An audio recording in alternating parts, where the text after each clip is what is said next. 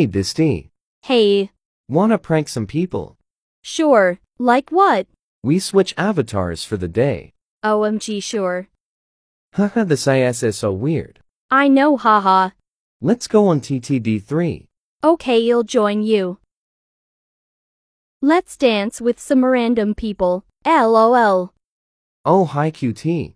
Who? You obviously. Haha, Jake lol. I know right this is so awkward. I'm glad that's not me in your position. You better accept now. You'll regret it.